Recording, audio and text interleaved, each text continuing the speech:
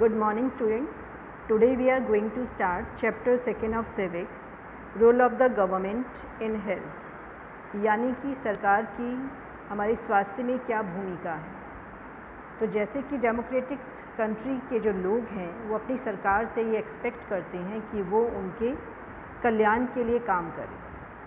और वो किस रूप में ये काम कर सकती है? जैसे कि इनको एजुकेशन प्रोवाइड करके, अच्छी हेल्थ दे के employment housing development of roads electricity और भी बहुत सी दूसरी चीज़ें। तो इस चैप्टर में हम यही पढ़ने वाले हैं कि आखिर जो हेल्थ है तो हेल्थ से रिलेटेड प्रॉब्लम्स क्या हो सकती हैं और उसका मीनिंग क्या हो सकता है? तो उसके लिए आप इस पिक्चर में, यानी इस कलाज में देख सकते हैं कि बहुत सारी डिफरेंट डिफरेंट फिगर्स इमेजेस बनी हुई हैं। तो आप यहाँ देखोगे कि ये पिक्चर्स जो हैं, इसमें से कुछ पिक्चर्स ही रिलेट करती हैं हमारी हेल्थ के साथ। जैसे आप हॉस्पिटल का ये सीन देख रहे हैं। तो आपको लगेगा कि ये हमारे हेल्थ से रिलेटेड है।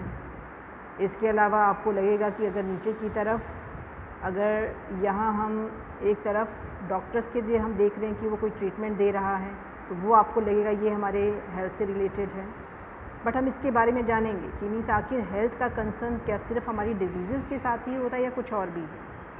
तो व्हाट इज़ हेल्थ तो health we think of healthy और health in many ways health means our ability to remain free of illness and injuries हम हेल्दी उसको मानते हैं जिसको कोई बीमारी नहीं है, कोई चोट वगैरह नहीं लगती है। बट हेल्थ का कंसर्न सिर्फ़ डिज़ीज़ के साथ नहीं होता। अब आपने ऊपर की जो सिचुएशन की मैं बात कर रही थी कि यहाँ पे आप कलाज में जैसे जो आप डॉक्टर से या हॉस्पिटल से रिलेट कोई चीज़ें देख रहे हो तो आपको लगेगा यही सारी चीज़ें हमारे हेल्थ से कंसर्न होती हैं। और अदर सिचुएशन जो है, उनका कोई रिलेशन हमारी हेल्थ के साथ नहीं है। But we need to think of other factors too कि आखिर उनका प्रभाव भी हमारे हेल्थ पर पड़ता है तो वो भी हमारे हेल्थ का ही एक पार्ट हो सकते हैं। जैसे एग्ज़ाम्पल क्या दिया, कि अगर लोगों को मान लो पीने के लिए साफ़ पानी मिलता है पॉल्यूशन फ्री इन्वायरमेंट में वो रहते हैं तो they are likely to be healthy तो वो स्वस्थ माने जाएँगे या वो स्वस्थ रहेंगे। और दूसरी तरफ़ वो लोग जिनको भरपेट खाने के लिए भोजन नहीं मिलता, रहने के लिए बहुत ही कंजस्टेड एरियाज़ हैं, गंदे इलाकों में वो रहते हैं तो they will be prone to illness तो वो बहुत जल्द बीमार हो जाएँगे, बीमारियाँ उनको बहुत जल्दी घेर लेंगी। So all of us would like to be active and in good spirits in whatever we may be doing तो हम हमेशा यही चाहते हैं कि हम जहाँ पर भी जो काम कर रहे हैं तो वो हम चुस्ती से काम करें। और इसके अलावा हमारे अंदर एक मनोबल होना चाहिए हर काम को करने का। It isn't healthy to be dull और अगर मान लो हम डल हैं इनएक्टिव हैं, डरे, सहमे रहते हैं लंबे समय तक तो ये एक तरह से हमारे स्वस्थ होने को इंडिकेट नहीं करता है। तो हम क्या चाहेंगे कि हम सबको तनाव मुक्त और प्रसन्न रहना चाहिए?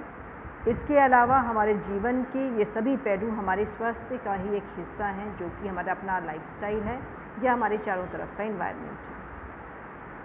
अब आगे हम बात करेंगे हेल्थ केयर इन इंडिया की। तो आखिर हमारे देश की जो सरकार है, क्योंकि हम एक लोकतांत्रिक देश के नागरिक हैं तो हम बहुत सी उम्मीदें रखते हैं कि हमारे स्वास्थ्य से लेकर के जो सरकार है, वो बहुत से प्रयास करें और हमें अच्छी सुविधाएँ प्रदान करें। तो यहाँ पे कंपेयर और कंट्रास्ट सिचुएशंस हैं, इन दोनों बॉक्सेस में, जिन्हें हम एक एक करके जानेंगे।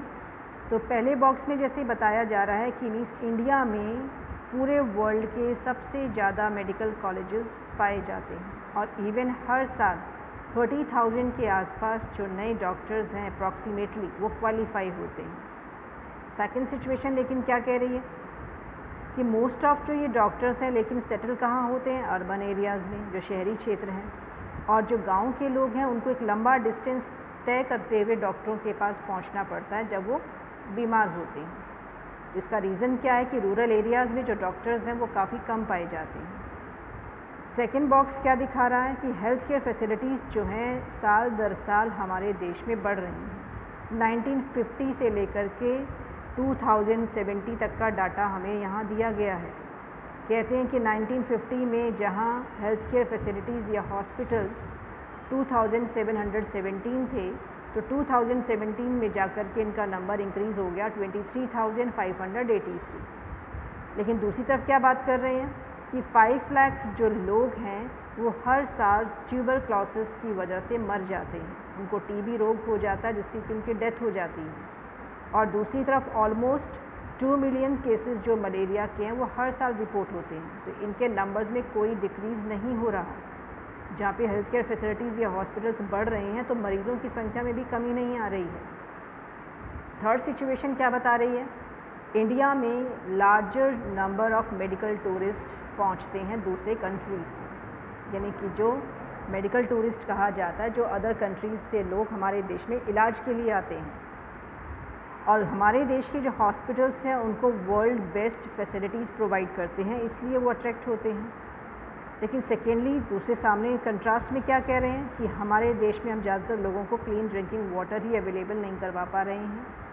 21 परसेंट जो कम्युनिकेबल डिज़ीज़ हैं, वो वाटर बॉर्न हैं, जिससे कई तरह की बीमारियाँ, जैसे डायरिया है वॉम हेपेटाइटिस हैं, ये लोगों को हो रही हैं। लास्ट बॉक्स कहता है कि इंडिया में थर्ड यानी इंडिया जो है थर्ड लार्जेस्ट प्रोड्यूसर है मेडिसिन का, और पूरे वर्ल्ड में वो अपनी मेडिसिन एक्सपोर्ट करता है।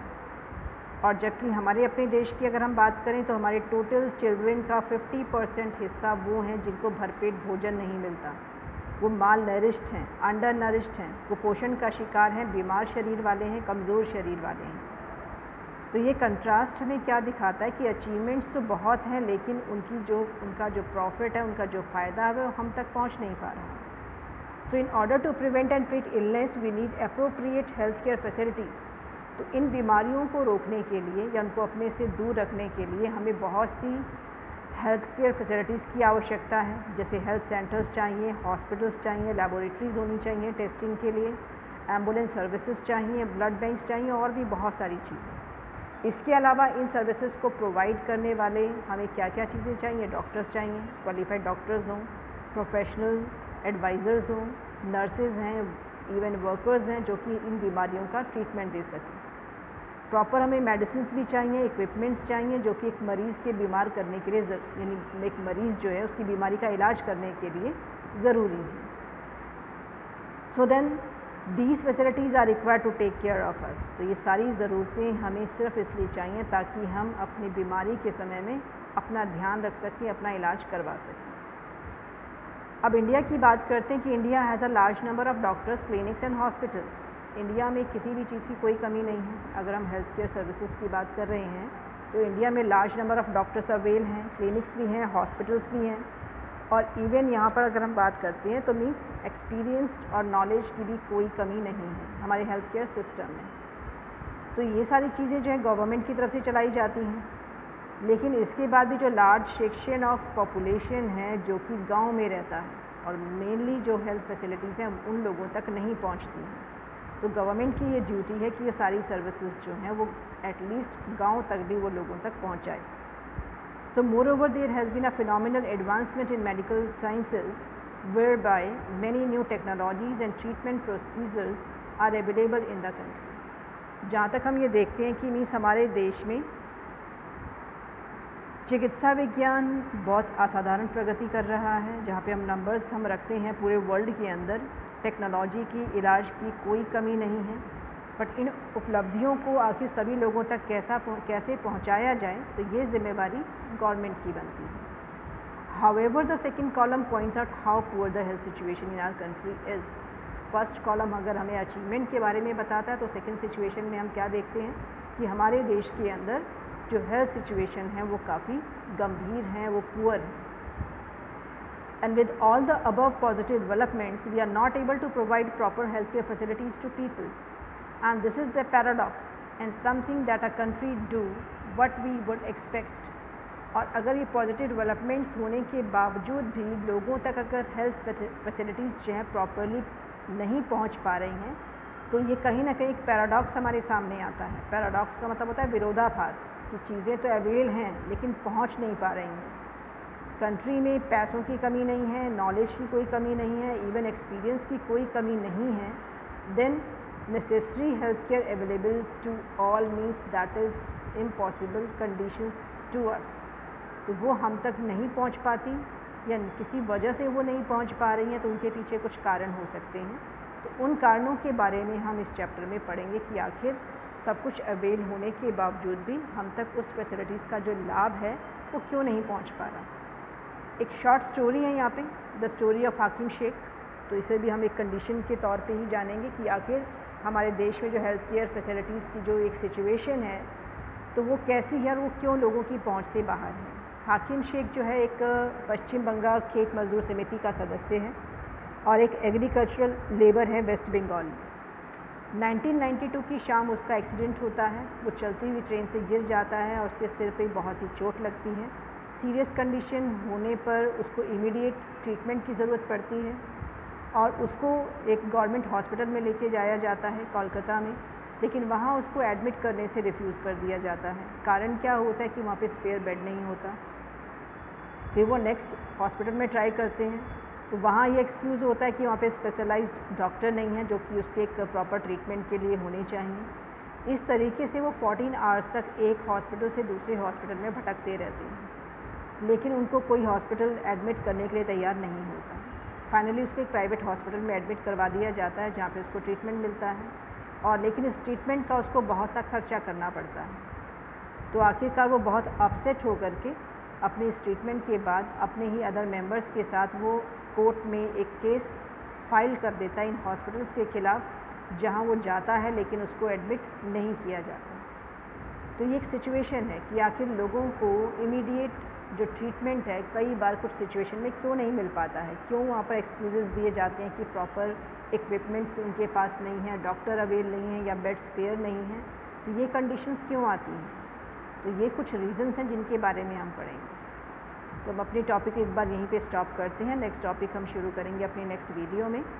तब तक के लिए goodbye to everyone and take care you all